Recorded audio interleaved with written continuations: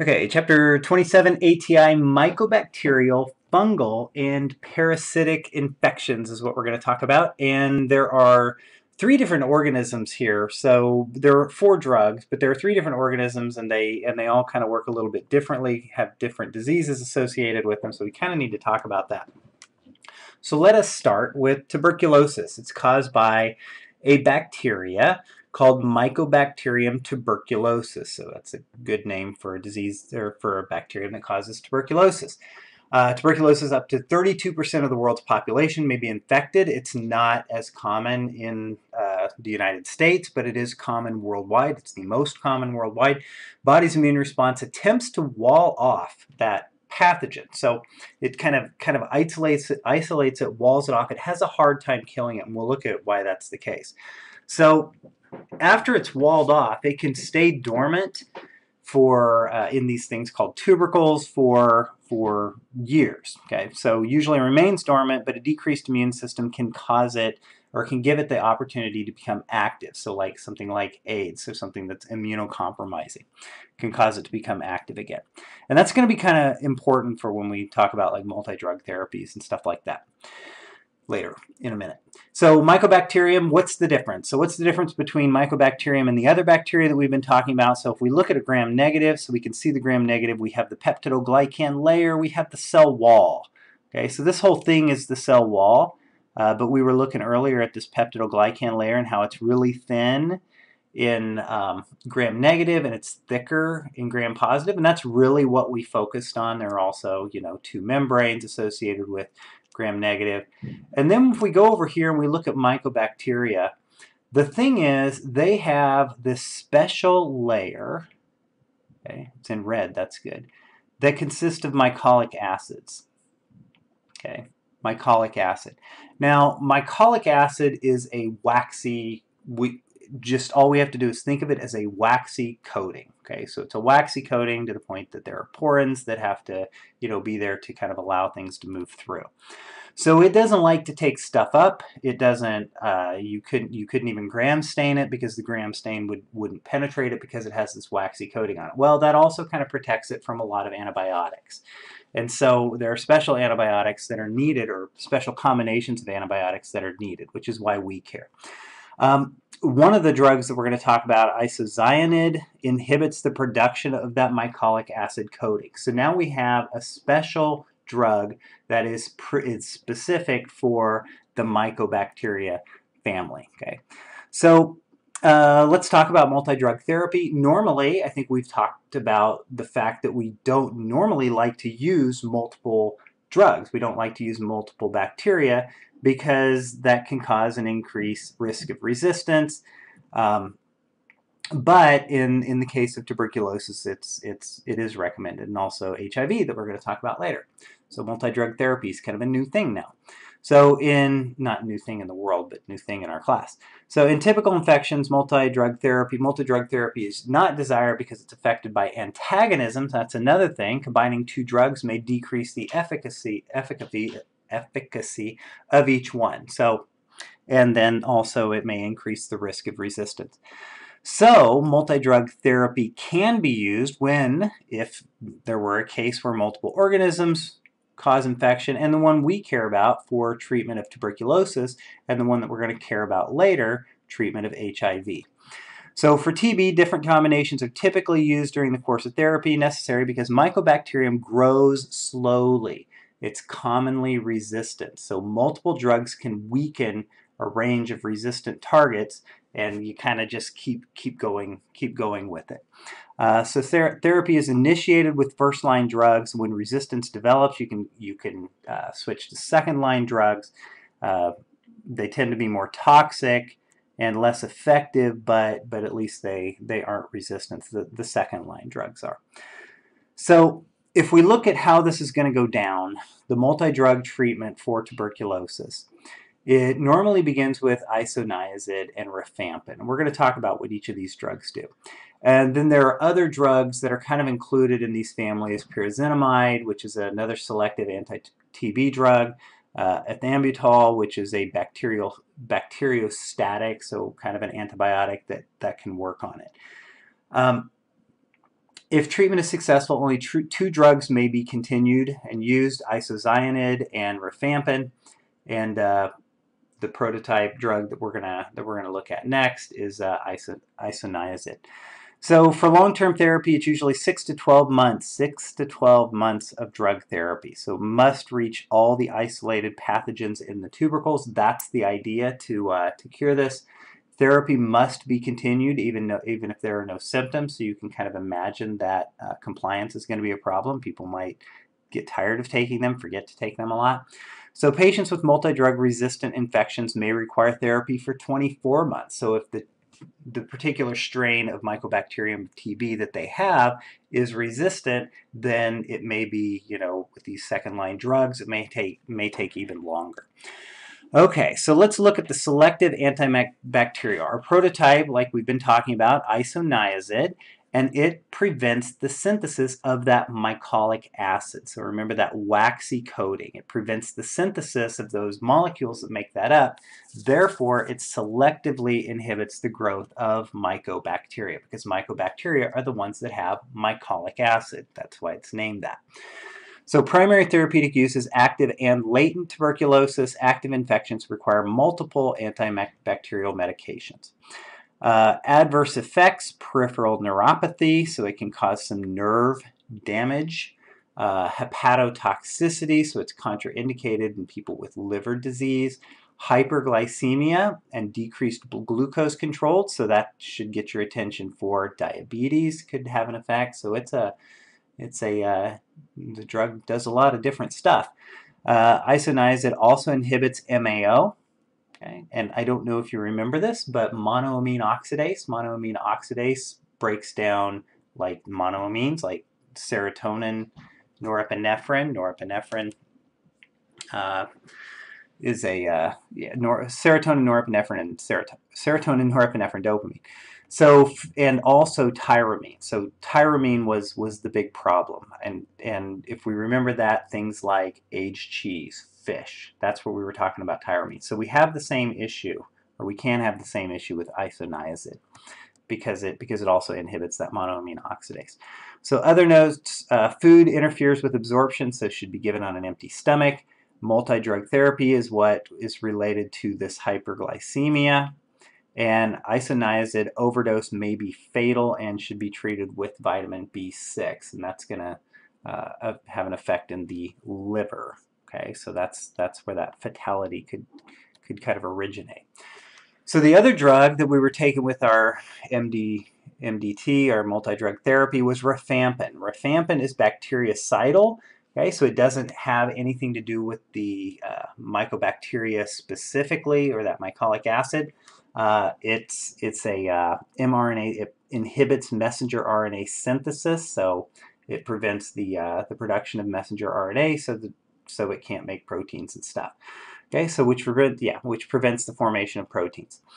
So primary therapeutic uses broad spectrum antibiotic effective for gram-positive and gram-negative bacteria, so uh, and also in this case mycobacteria, given in combination with at least one other selective anti-TB medication to help prevent antibiotic resistance. So it's going to help kill those bacteria, make them die faster and not give them a chance. So adverse effects are interesting for this. Discoloration of body fluids, so orange urine, orange sweat, saliva, and tears. So this stuff is pigmented, and so it passes that pigment on to body fluids. So, so you can see that with, with this particular drug. So remember that. Hepatotoxicity, so jaundice, anorexia, fatigue, mild GI discomfort, and then the pseudomembranous colitis, that's usually associated with uh, C. diff. It's uh, inflammation, intestinal colon inflammation. Okay, so the next group, the protozoa. Protozoa always confused me in biology class. Is it a bacteria? Is it not a bacteria? Well, it's not a bacteria. It's not a bacteria because it has a nucleus and it has organelles. And so if it has a nucleus and it has organelles, then it's not a bacteria. So it's called a protozoan. It's still single-celled. Um, the most common is malaria. We're actually not going to talk about malaria, but yeah, malaria is caused by a protozoan called Plasmodium, transmitted by mosquitoes, significant disease. Um, second most fatal infectious disease, tuberculosis, is the first that we just talked about, and thrive in areas of poor sanitation. So chlor uh, chloroquine is the preferred anti-malarial antiprotozoum. I'm just really shocked that uh, ATI didn't include it in this section. Maybe it's planning on including it somewhere else, but I think it's uh, it's important uh, to uh, to kind of remember that that it's a, a protozoan. Chloroquine is the uh, is the drug. We're not going to test over it right now, but I don't know. It seems like that's something that should be in your ATI stuff.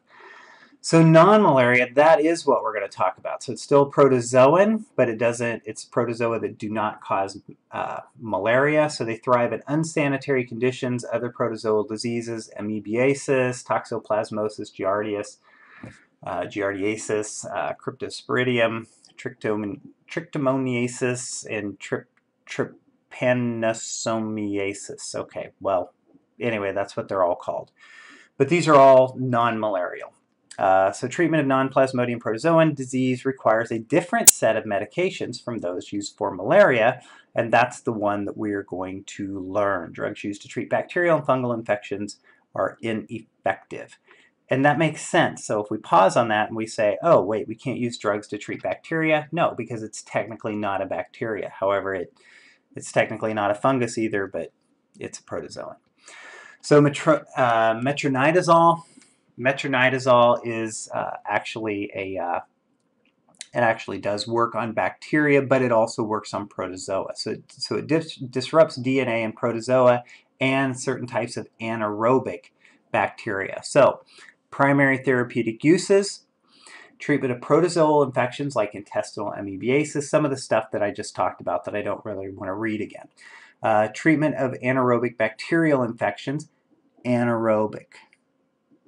Anaerobic, and it is it is specific to anaerobic bacterial infections. Uh, C. diff, that should that should raise some alarms. So metronidazole can be used to treat uh, C. diff. Um, prophylaxis, prophylaxis for certain surgical procedures also used. Treatment of H. pylori. H. pylori is uh, is associated with uh, GI ulcers.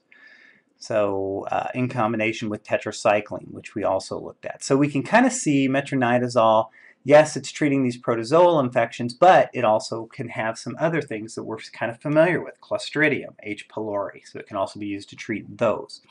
So adverse effects, GI discomfort, darkening of urine. We're not turning our sweat yellow or orange, but uh, darkening of urine can occur neurotoxicity, CNS effects, pseudomembranous colitis, which we see a lot with antibiotics, and antiprotozoals.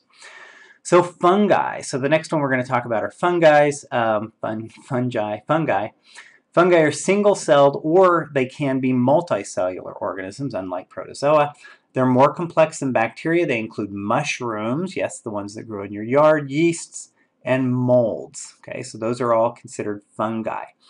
The ones that infect people aren't we don't have mushrooms growing on us but they're still in that in that category. So out in the wild so mushrooms can decompose dead organisms but but these these fungi can grow in the in the soil. So humans are exposed by handling contaminated soil or inhaling spores. Many systemic fungal infections begin in the lungs okay? Because they are inhaled um, like fungal, like pneumonia can happen, but only if you're really immunocompromised. So cell structure is more like humans than bacteria, so most antibacterial agents are ineffective.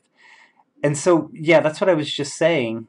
Um, fungal infections in humans are, are are pretty rare. It's only it's only in immunocompromised people that a that a fungal infection in a human can can happen, like in the lungs. Now now getting it on your skin, which we see here. Um, this person named Anna had a had oh this shouldn't say athlete's foot this should say um, ringworm. Okay so that should be crossed out. But anyway Anna who is my daughter uh, had this huge ringworm uh, tinea corporis.